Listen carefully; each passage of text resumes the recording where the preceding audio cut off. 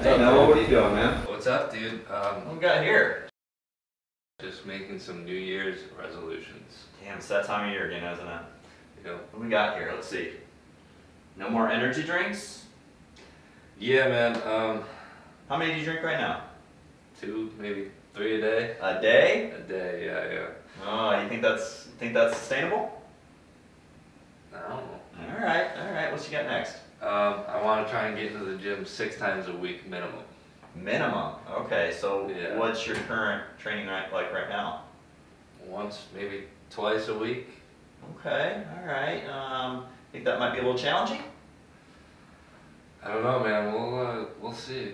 Okay, and then what's the last one here? Uh, no more alcohol. Want to stop drinking? Yeah. That's gonna be tough, man. You're a college student right now. I'm sure you're going out what two, three times a week.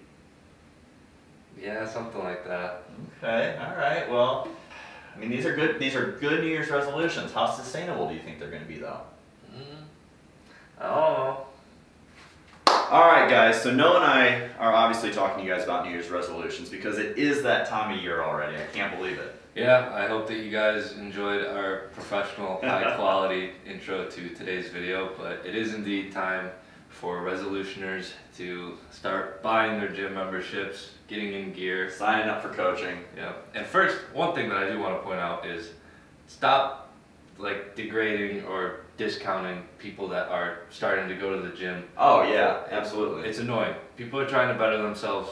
All right, now we have that out of the way. Yep, that was our PSA, public service announcement Yeah. for that. Um, so obviously, what we're going to be talking to you guys about is going to be more, um, you know, body recomposition focused, right? Mhm. Fat loss, muscle gain, things like that. But all of these principles can really be related to any New Year's resolution goal that you want. You obviously Sure. saw Noah talking about energy drinks and alcohol and things beforehand. So, um, but the first one, Noah, you want to take us through the first one? Yes, so fat loss focused on speed. A lot of the problem when people start a resolution to lose weight Yep. is they want to lose 20 pounds, 30 pounds by the time it comes spring break in March. Yeah. They want to be losing 2% of their body weight each week, which is just not sustainable and it's going to lead to probably you cutting calories so low that you're just going to have a relapse or binge eat or something like that. Right, absolutely. The the slower that you can go with fat loss, the more sustainable it's going to be long term. I know that's not always what people want to hear. They want to drop that weight quick, but you got to remember the faster you're dropping your calories and you're dropping your weight, the more lean body mass you're losing along the way too. And that lean body mass is what's going to be metabolically active for you. So that's what we want to hold on to. We hold on to that by doing a fat loss phase very slowly. We resistance train and we keep protein high. So those are things to remember when you are dieting. So the next problem with New Year's resolution is usually sustainability, which kind of falls into the first one that we talked about. Um, you know, people get so gung ho right off the bat. They want to do everything fast, whether it's fat loss, whether it's um, trying to bulk. A lot of people are trying to put on muscle in the new year. And one thing is, we really, we, re- we really do want to channel that like, gung ho like Oh, yeah. motivation. We don't want you to lose that No. at all. We want to again channel that, but we just want to make sure that you're using that energy that you have in a smart way that's going to provide long term success. Success. Yep. Setting small, achievable goals um, is a very, very important thing to do because we're human, right? We're not robots. When we achieve something, it gives us an extra sense of um, accomplishment, right? Of energy moving forward. So we set these little goals, whether it's losing this amount of weight, you know, in the first four weeks, or um, trying to increase your bench press or squat this amount of pounds in eight weeks, things like that. We set small, achievable benchmarks because that's what keeps us going. So by doing that, by setting short-term and long-term goals, you are going to find yourself more sustainable, um, being able to sustain your New Year's re- resolution a lot easier. So, Noah, what's the third one here? All right, not having clear goals. I know I can probably speak for Noah and the other coaches um, on our team. We get inquiries all the time with very general, broad goals. I want to lose weight. I want to put on muscle. Um, things like that. Those aren't all those. Although those are very good goals, they are not clear goals. Okay, we need to work on clear objectivity. Okay, I want to lose um, 10 pounds in the next eight weeks. You know that is a very sustainable goal for most people, right? Um, at the end of this 12 week training block, I want to increase my squat by 20 pounds. That can be a very achievable goal if programmed correctly along the way. Where we fall into problems with people with New Year's resolutions, we see is that they have this just general goal. And when we have a general goal, um, it's hard to stay focused on it.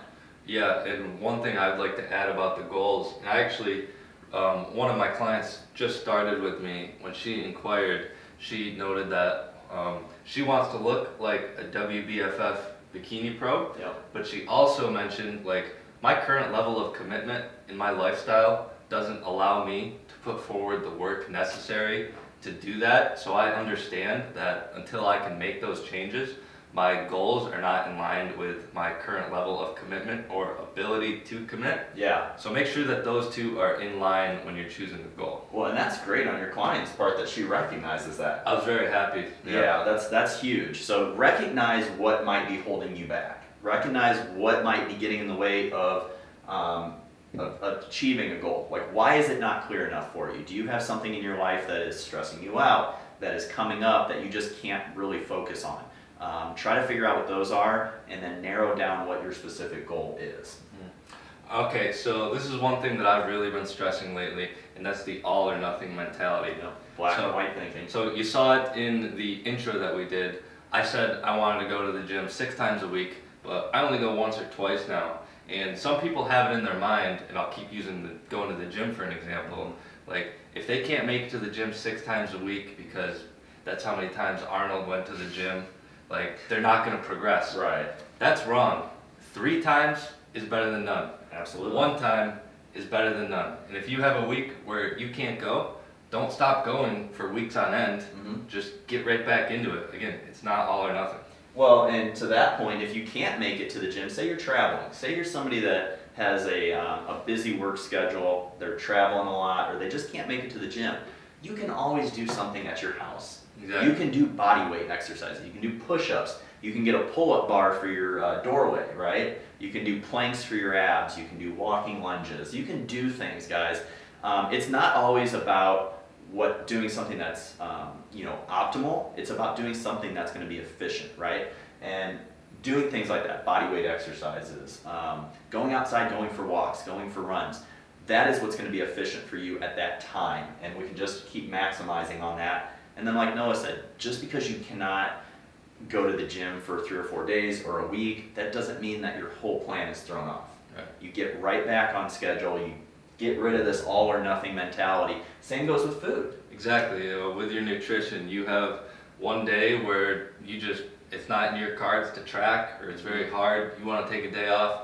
Okay, so be it. It's not that one meal. It's not that one day that's going to throw things off. Right. It's what's going to keep you in line is those thousands of other meals, all those other days where you are on point. Yep. I did this. Uh, I did a post a while back about um, kind of something along the similar lines. But if you eat four meals a day on average, that's about 1,460 meals a year. Okay. I oh this was I brought this up during the holiday post. Oh, this is what it was. Yeah. So people freak out about you know holidays, Thanksgiving, Christmas, other big meals, right? You got to put things in perspective. You got to get rid of this all or nothing mentality. That's maybe one meal out of almost 1,500 that you're going to eat during the year. You can't think that that's going to make or break you, okay? Um, having one great meal is not going to make you, and having one bad meal is not going to break you. The big thing is is getting right back on track the next day.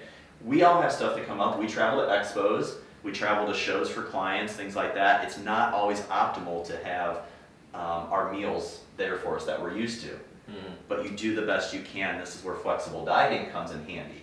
Me personally, I like eating structured meals throughout the day, but I have that ability to flexible diet when need be, and I know Noah practices it probably a little bit more than I do. Yes, yes. We um we have nice food locations near the We near do. the office that I enjoy. Yeah, Tampa is a great area for food, guys. So But um, one thing is like my clients will ask me like, what if I, what if I overate at this restaurant Mhm. And I don't realize it? Well, first off, I'll say if you're in a fat loss phase, you're better to try and overestimate yes, what you're eating. But even if like there's 50 calories worth of oil in there that you didn't account for, in the grand scheme of things, like you're on point for all your other meals. Don't worry about it. Right. And I get questions a lot from people like, hey, like I hit my macros, but my calories aren't adding up. They're not the same. If you're using something like MyFitnessPal or another tracker, there is going to be a little leeway between your calories and what your macros should be, right? Yeah. So actually, one of the posts that I've on Instagram that I've had the best engagement with is a post in where I discuss why calories might not match up with your macros on things like MyFitnessPal. Right. That's because um, labeling um, companies actually can round their calorie counts. Um, anybody can create an entry into MyFitnessPal. Yep. So sometimes I'll go in there and like, I don't know, I'll see a slice of pizza and it's got like 50 grams of protein, zero fat, zero Yeah. carbs.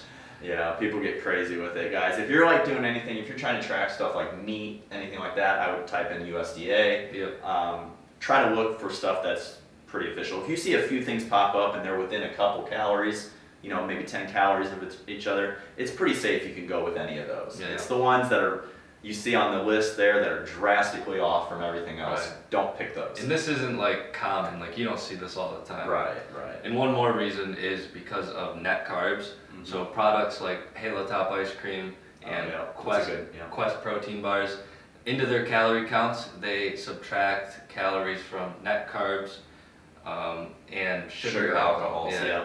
And the way sugar alcohols work are that they are half the amount of calories as a normal carb. So normal carbs four calories per gram. Sugar alcohols are two. So they give you less calories, but for the same sweetness. But they do, like Noah said, they subtract those from it when in reality they shouldn't. as well as fiber. And fiber does not have four calories per gram, but listen, to keep everybody from pulling their hair Yeah. out, that's how we track it. Yeah, we're the attention the, the attention is in the details, right? But you have to understand that um, you can't get so bogged down in being off by a couple grams here or there. You know, if you're off by more than like ten percent, then yeah, that's that's going to be a little troublesome, right? That's where we need to start fixing um, adherence and consistency.